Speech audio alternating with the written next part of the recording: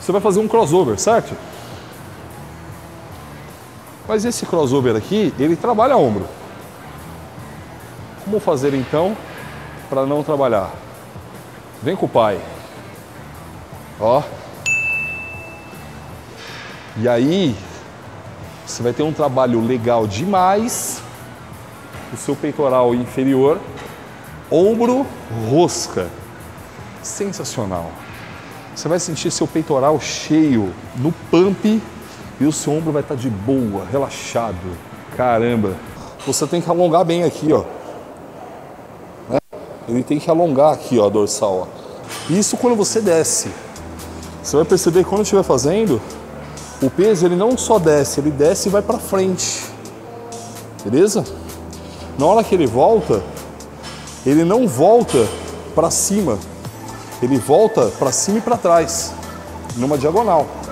Observa isso, ó. Alongou. Ó.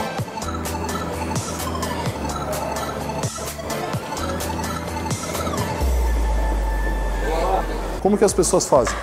No exercício que eu fiz primeiro, você vai perceber que existe um arco acontecendo.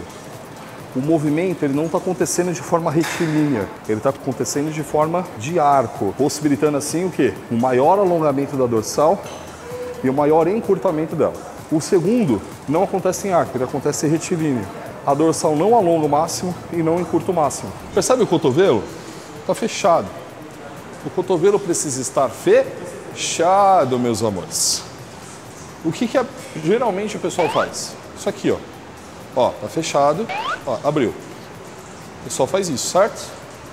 E aí você tem aqui o que a gente chama de dissipação do vetor de força. É uma espécie de roubo mais inteligente. Segundo ponto, é o cotovelo que trabalha. Não é para fazer isso. Eu estou exagerando, mas você sabe que isso acontece. Ou então, né? Faz isso. Ó. Tá roubando. Ó, percebe que o braço está do lado do corpo? O que, que muitas pessoas fazem? Também não. Você precisa flexionar o cotovelo. O que eu falo para os meus alunos é: se você flexionar o cotovelo e a sua mão passar do seu mamilo, tá errado. Na linha do mamilo. Ó, o cotovelo está quieto lá. Você está acostumado a fazer assim. Você desce e torce para fora.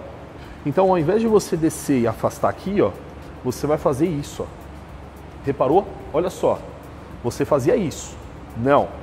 Vai fazer isso. Então, ó, desceu e torceu ao contrário. Você vai perceber que a corda ela faz isso ó, no seu polegar. Então, ao invés de você torcer ela em cima do seu indicador, você vai lembrar de mim na hora que você estiver fazendo. Você vai torcer ela no polegar. Ó, dobra no polegar. Postura sempre, né? Dobra no polegar. Beleza. Quando você falhar aqui, aí sim você dobra ela lá no indicador. Quando você falhar aqui, aí você junta aqui os dois e aí você traz os dois juntos. E aí o que, que eu estou te trazendo é, de certa forma, um drop mecânico com uma bissérie. Claro, né? Alonga o máximo possível, encurta o máximo possível, porque senão não faz sentido nenhum toda a parte teórica que eu te trouxe. Algumas pessoas acabam fazendo um movimento mais encurtado e aí sabe o que, que acontece? Você já percebeu que muitas pessoas têm o peitoral mais desenvolvido no canto e pouco desenvolvido no meio? Você não está alongando essas fibras daqui, ó. Então, se você está com carência dessa região central do peitoral, é porque você não está alongando o suficiente os exercícios de peito. Você vai subir o mindinho mais alto do que o indicador e vai segurar 3 segundos. Aqui a gente tem a técnica da contração de pico. Observando, olha o mindinho, está mais alto que o indicador. Continua com o braço um pouco para frente, olha o cotovelo, bem junto do corpo, né? E aí você vai embora. Quando você chegar na falha, eu acho que sai mais uma. Sempre a técnica, galera. Vai descansar 15 segundos. E aí a gente vai entrar agora na famosa técnica chamada rest pause, que é basicamente para você dar um pouco de descanso para a musculatura. A ressíntese de ATP acontece e você consegue voltar para a série. Mas ó, ainda estou ofegante. E aí você vem de novo, ainda na rosca simultânea, só que agora direto, sem pico. E aí você vai o máximo que você conseguir. Até a falha de novo. Agora vai entrar no martelo. E aí o pico de novo, ó. Sempre apertando o máximo possível e deixando o cotovelo fechado. A técnica tem que estar sempre presente. Até a falha. E aí eu vou descansar de novo 15 segundos. Outro rest pause. Porém agora não tem mais pico. Agora vem direto. E a ideia é buscar aquele pump, sabe? Ó o cotovelo, ó. Sempre junto. Se você faz isso, você perde muita ativação. Cola ele aqui, ó. Vai até o talo de novo. Ao invés de você fazer literalmente assim, ó, lateral ao corpo, você vai colocar um pouco para frente. E aí vai ser um ângulo meio de 45 graus aqui, ó. Quer ver? Vem cá. Olha só.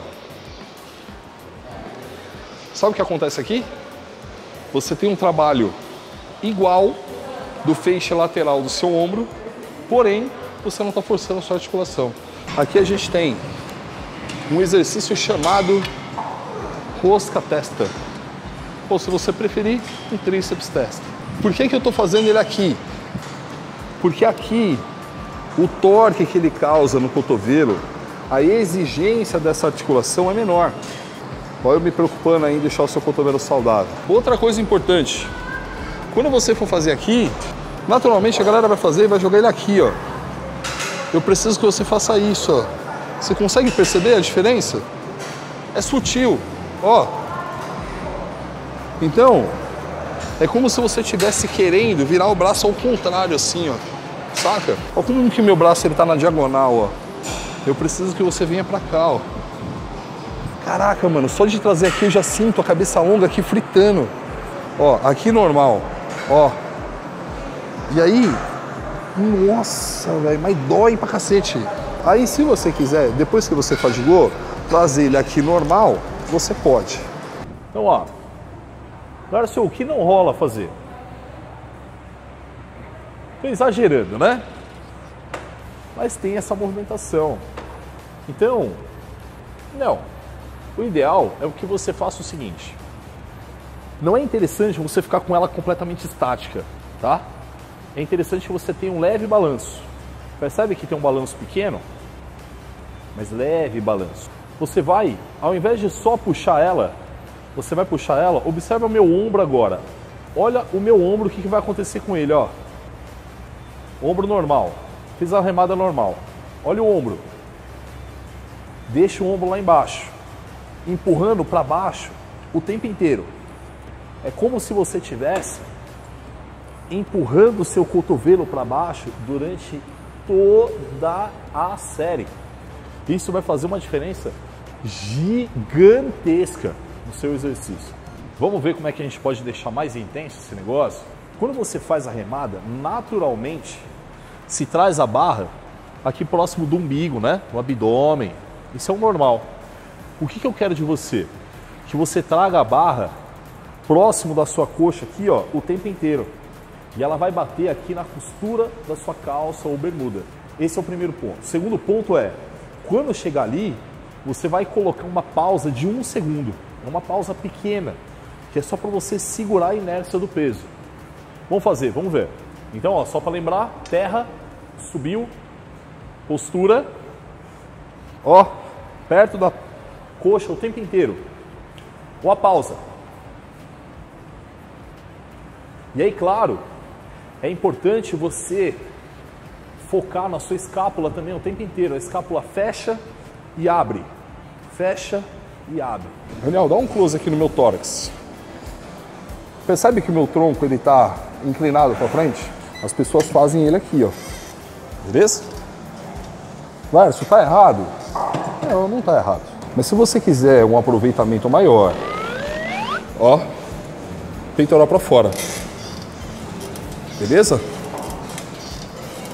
Aí você tem um encurtamento muito maior da musculatura. Encurtou mais, insuficiência ativa trabalhando de forma mais intensa, mais estímulo de hipertrofia. Você vai se sentir muito tentado, né? A inclinar o corpo aqui, ó, conforme vai fadigando. Não deixa não. Você perde a ativação. Ó, até o final, mano, até o talo, velho. Aí você pega, porque se você soltar ele vai voltar. Pega o outro. Você vem aqui. Fica exatamente paralelo a ela. Você pode dar até um passo para frente. Ó. Fecha aqui em cima. Ó. Você tem que fechar a sua mão, ó. Ela tem que ficar acima da sua cabeça. Não é para ficar aqui. Aqui em cima, ó. Alonga bem lá, ó. É muito legal, velho. Se você quiser intensificar mais, sabe o que você faz? Você inclina o corpo um pouco aqui, ó. Galera, é impressionante o quanto que você vai conseguir tensionar essa parte. O quanto que você vai conseguir dar de pump nessa parte. É fantástico.